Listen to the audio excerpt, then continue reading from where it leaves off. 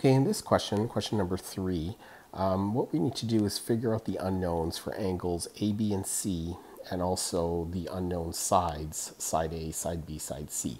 So to do this, um, what we're going to be using here is the sine law. And if you remember, in order, the sine law is just a ratio of the side over the angle. Okay, so if we're just looking at triangle one here and we're using the sine law, what we have is we have sine of angle A all over length A is equal to sine of angle B all over length B, which is also equal to sine of angle C all over length C. So we can use um, any one of these ratios equal to each other to figure out um, one of the missing sides.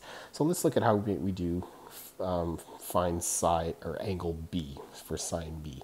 So we know we have a side A and we also have angle A. So that gives us a complete ratio to start with. So we're going to have sine of 42 degrees all over 8.6. Okay, and we're trying to find angle B. So before we can find angle B, we have to figure out what sine B is. So sine B is going to be our unknown, and we do know the length of B, which is 12.4. So again, we'll just do a simple cross multiply here. We're going to have, um, well actually what we want to do here is isolate sine B. So we'd actually, if we don't need to really cross multiply the 8.6 because we're going to end up dividing it back.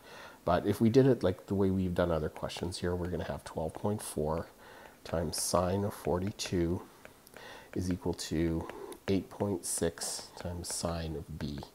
Okay, now, but you can see at this point what we need to do is divide out the 8.6 and essentially bring it back. So our equation here is just going to give us sine b is equal to 12.4 times sine of 42 all over 8.6.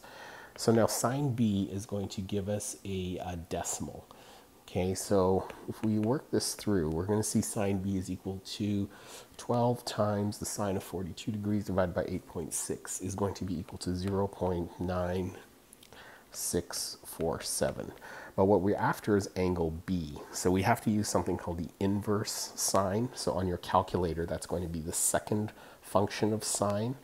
Um, so in order to find angle B, okay, we would write it out like this. We would use sine, but we use this thing, notation of sine inverse or sine minus 1 of 9 point, of 0.9647. And this is going to be what angle B is equal to. Okay, and then this is going to give us 74.8 degrees. So that gives us one of the missing angles here, 74.8. Um, and then we're asked to find angle C. So we could use the same ratio. We could use sine A over side A is equal to sine um, C over C. But the thing that we don't know though is we don't know um, what C is equal to, um, which is what we'd have to find, but we would need to know an angle for angle C. So how would we find angle C in this case, um, or side C? All right, so we have to remember what our properties of triangles are. Triangles, okay, equals 180 degrees if we add up all their angles. So we would be able to figure out what angle C is by just going 180 minus the 42 minus the 74.8. Okay, if we subtract all those two term all those two two terms together, we'll get 63.2 degrees for this as the missing angle. And now we're in a position to use sine A over A equals sine C over C. And we can use the same procedure in order to find um, side C. Okay, and the other questions work um, the same way. Um, for triangle 2, we have the angle A and side A pair.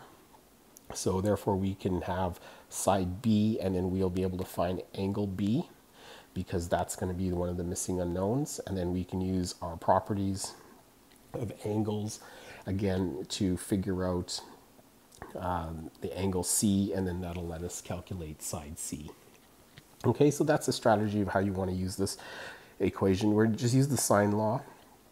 Write down what all the equivalencies are first, or know that triangles equal 180 degrees, and then just work out your question from there um, as you go along.